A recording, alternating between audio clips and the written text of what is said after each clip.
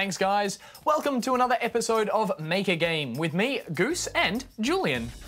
Last episode, we started making the Good Game Spawn Point Invaders game. We loaded in our sprites and we got them to move. What's on for this week, Julian? Today we'll be working with lasers.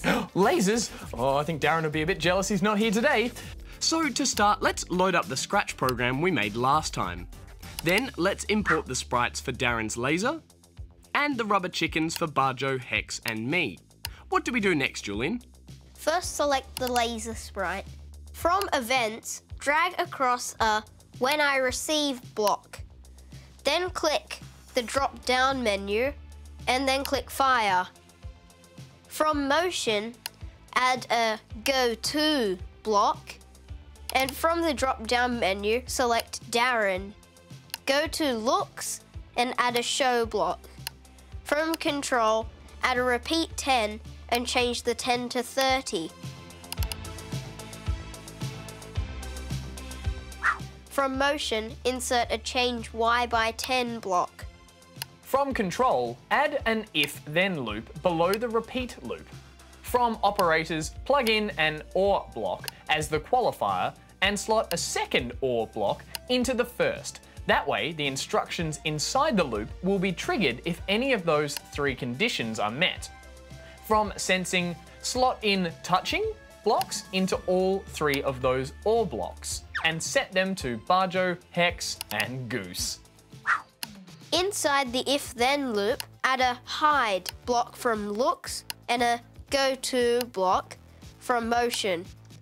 Using the drop-down menu in the go-to block, select Darren. That will make the laser disappear when it hits its target. Ah, oh, it works! Now I can finally fire Darren's laser. Now for the invaders lasers. Select one of the three chickens. From events, add a when green flag clicked block.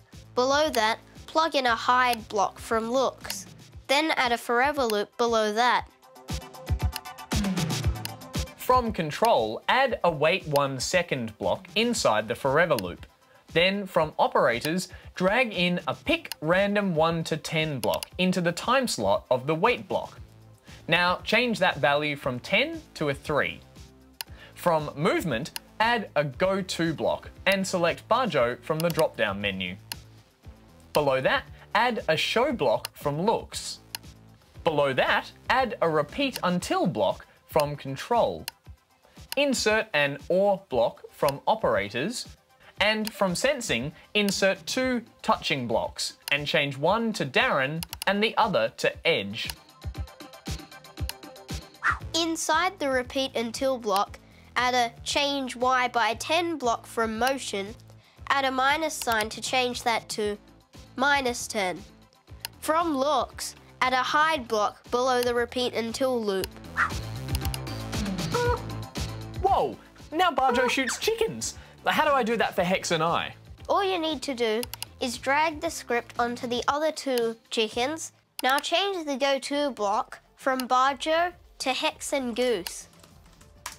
Whoa! Now everyone shoots chickens. It's a bit of a free-for-all. Uh, maybe we should add those barriers. That would increase the challenge. It will indeed, Goose, but we'll have to leave that for next lesson. Oh, out of time already. Remember, Spawnlings, to save your programming progress. And if you've missed anything and would like to rewatch this or any previous lessons, you can do so here. Until next time, Julian out. Goose out. Thanks, Goose and Julian. I love how quickly this game is taking shape, Bajo. Yeah. Uh, Okay, you two. Coding time is over. Off to the Ask Point desk for now. Chop chop. Questions are waiting. They're learning so fast.